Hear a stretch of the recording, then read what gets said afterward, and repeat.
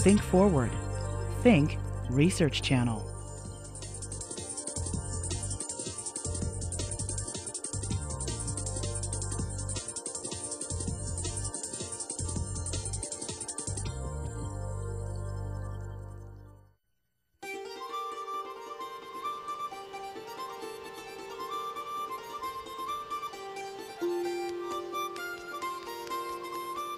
It is one of the most popular sports in North America, landing the big one from a stream or lake, and sometimes talking about the one that got away. But it is also a sport that only hints at what lies beneath the surface of those waters. Those species we are familiar with as game fish make up barely 10% of all freshwater species on the continent. Those other fish, those non game fish, are remarkably diverse and remarkably threatened.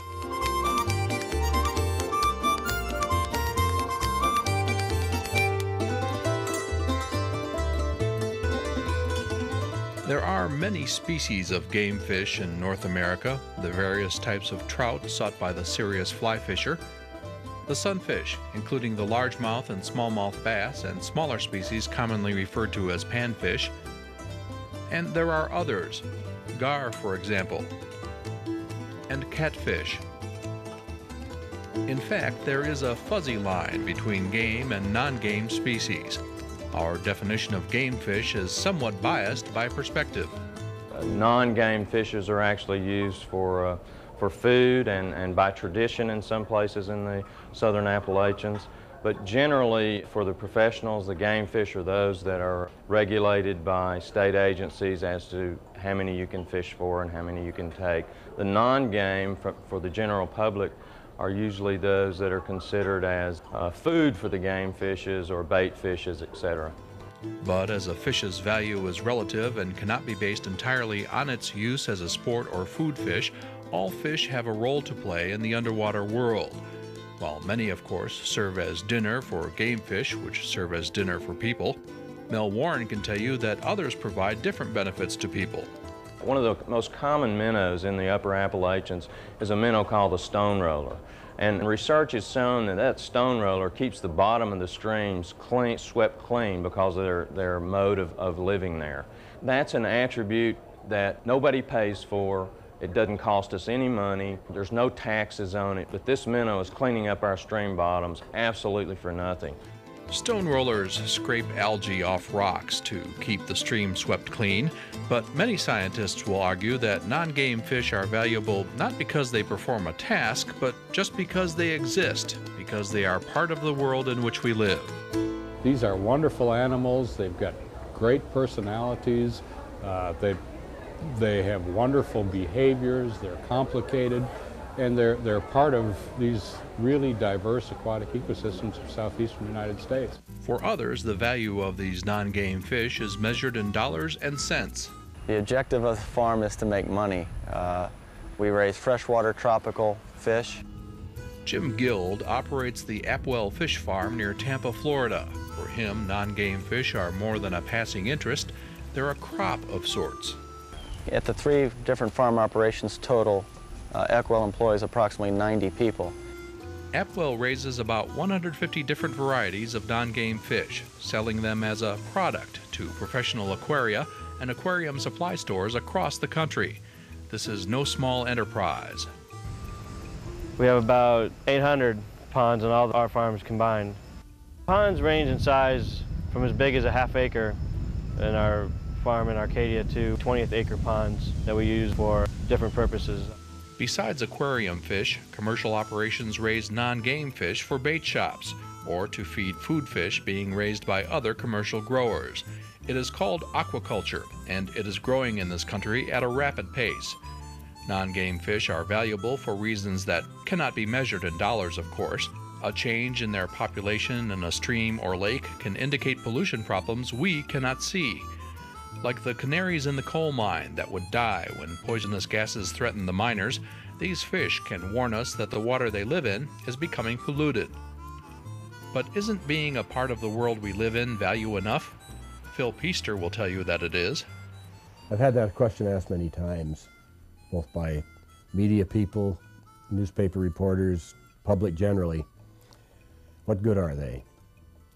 Well, it's a good question. I think we owe it to the public to answer that question as well as we can.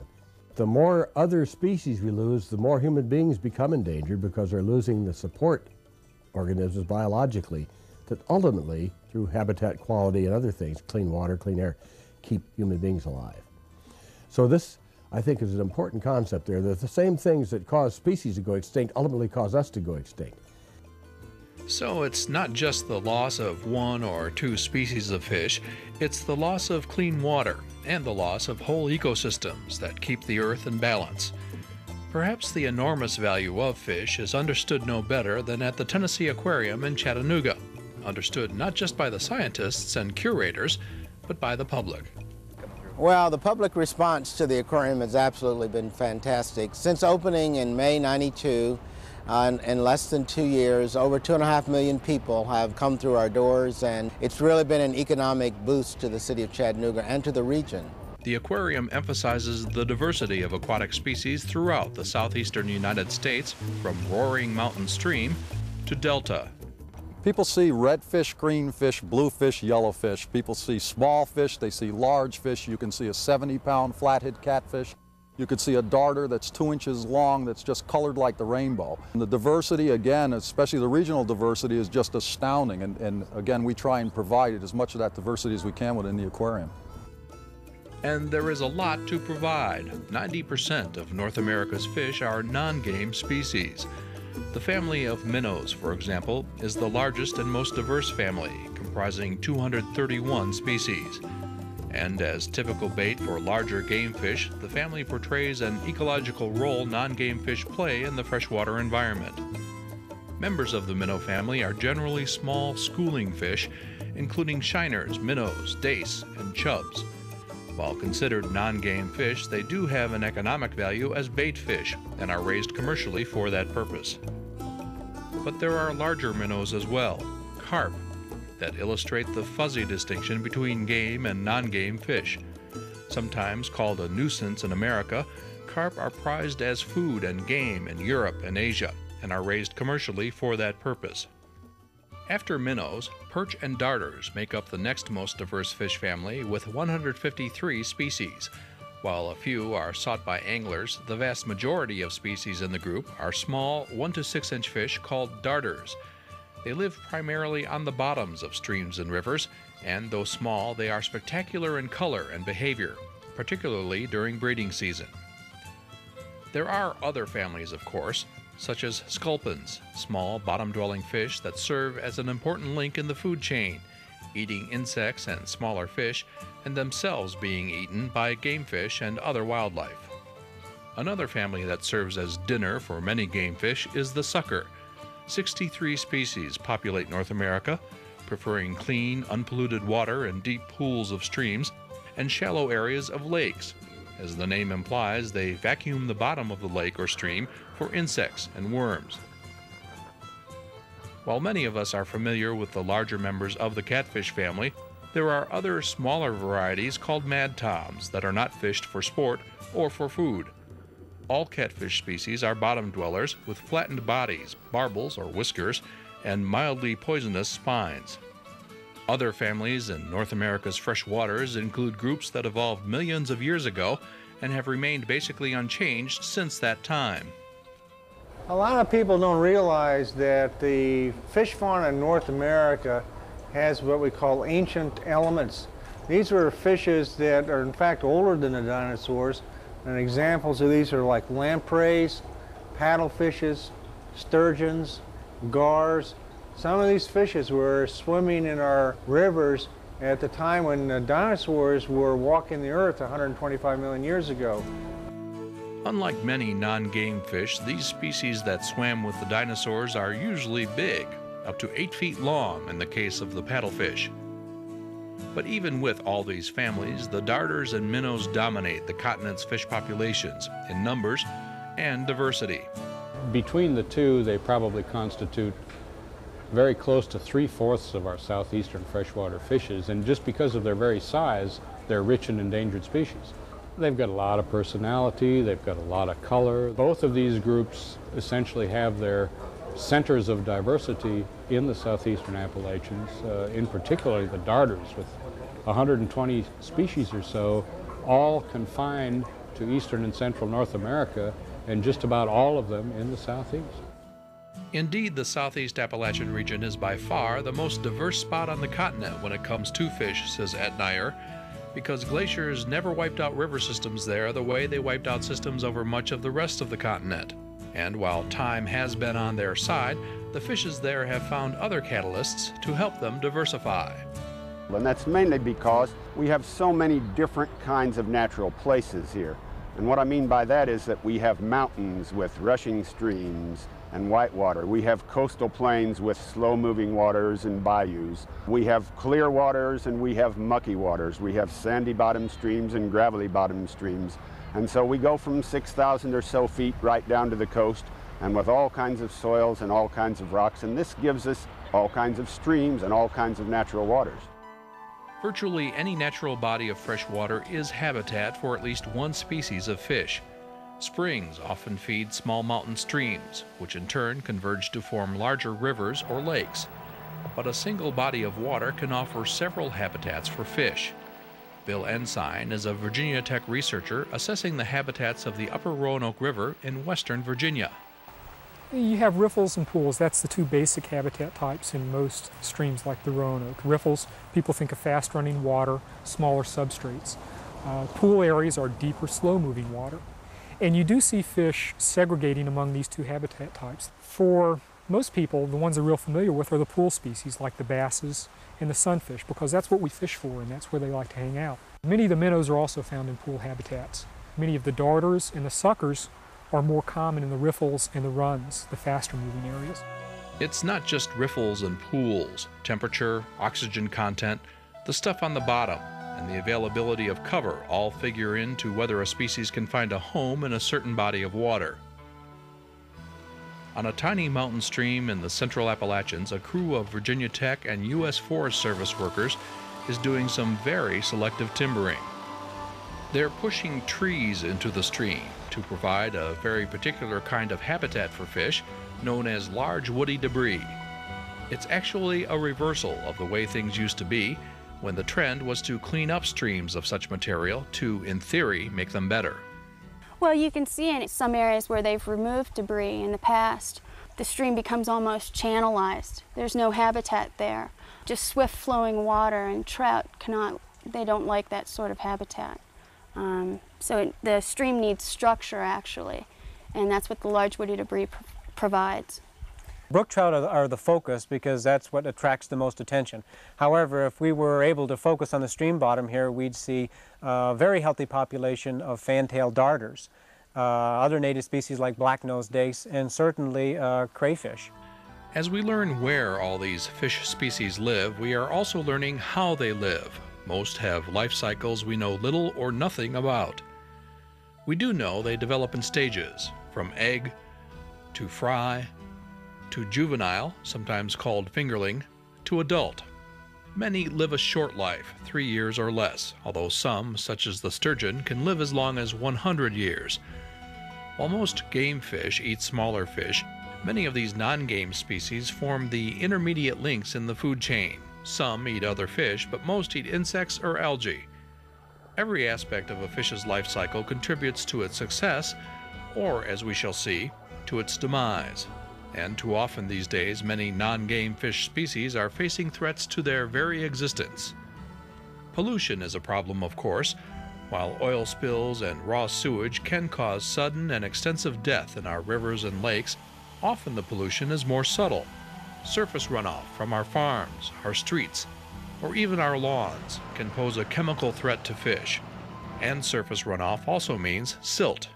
When the bottom is degraded by sedimentation, it destroys their prey, it, it ruins the places that they can typically hide, and it often destroys their reproductive success by killing or smothering eggs. And that silt can come from any number of sources. Much of the time, someone above the surface of the water just isn't thinking about damage being done below the surface. Bad timbering practices unleash a torrent of sediment into nearby creeks. Free roaming livestock on farms stir up the stream bottoms while adding their own manure to the mix. Construction lays bare the soil around the site, and the slightest rain can add more sediment to nearby waters.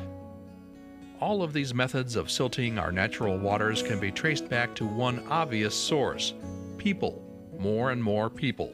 Well, what we're seeing in the southeast is a tremendous growth in the human population. A lot of people moving in from other regions of the country. And the development that you get from that impacts habitat. And you wind up with a very fragmented distribution pattern for a lot of the, the aquatics. Perhaps nowhere is that cutting off of fish populations better demonstrated than in the construction of dams. Literally thousands of dams have been built on our rivers, many in the mid 20th century when well meaning government agencies and private businesses turned free flowing streams into lakes. There's only one natural lake system in the entire southern Appalachian area, and that's Mountain Lake in southwestern Virginia. There are no other lake systems in this system, so it's a flowing water fauna. These animals have adapted to spawning, to feeding, and to sheltering in flowing water conditions. So when we dam major rivers and sometimes small rivers, and sometimes even small tributaries, we change dramatically the situations in which these fishes evolved and go about the daily business of living. If we had fishes that lived in a river that was 100, 200, 300 miles long, those fishes could, during their lifetime perhaps, or during the lifetime of several generations, move or swim from one part of the river to another. Now, with barriers such as dams, uninhabitable polluted areas, all the populations exist in little pieces. Dams disrupt the way things were, the habitat in which a fish species evolved but it doesn't necessarily take a force as large as a dam to bring a species to the brink of extinction. They are called exotics, species such as zebra mussels. They show up where they shouldn't be because of human activity, hitching a ride in boat ballast water, or dumped by a kid tired of his or her aquarium. Commercial fish farms raise exotic species, and sometimes by flood or hurricane or other accidental means, they escape. There are literally scores of exotics that have been introduced into the fresh waters of the United States. All have some impact. Some, such as the zebra mussel, are devastating, filtering out much of the food or covering up all of the substrate that other aquatics need to live. The fear is that as these dominating exotic species spread, they'll wipe out smaller native populations and the ecosystems in which they live. By tracking the spread of these exotic species, the Florida Caribbean Science Center of the U.S. Geological Survey in Gainesville, Florida, hopes to pinpoint where the battlefronts will be, where efforts to save native species are most promising, and there are a lot of efforts underway. At the lab, Ken Sulak is leading a fight to save one of the country's oldest and oddest native fish, the Gulf sturgeon.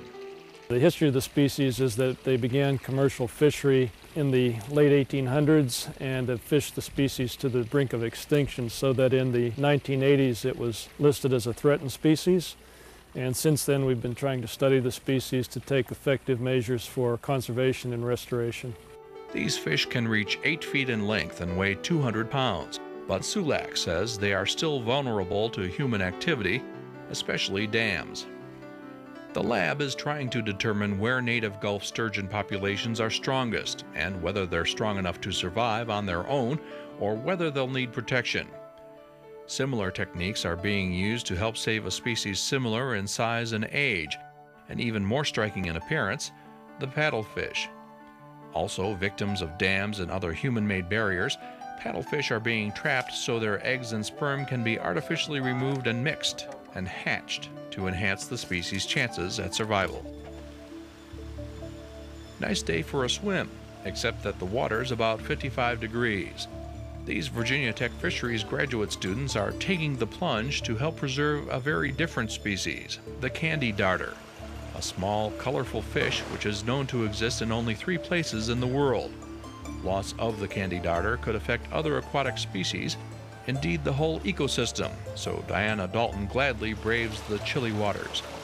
The candy darter is a species of concern here in Virginia and looking at how to help the fish if, if it were to get in trouble that we could move individuals into the lab to spawn them there and then to return them back to the streams.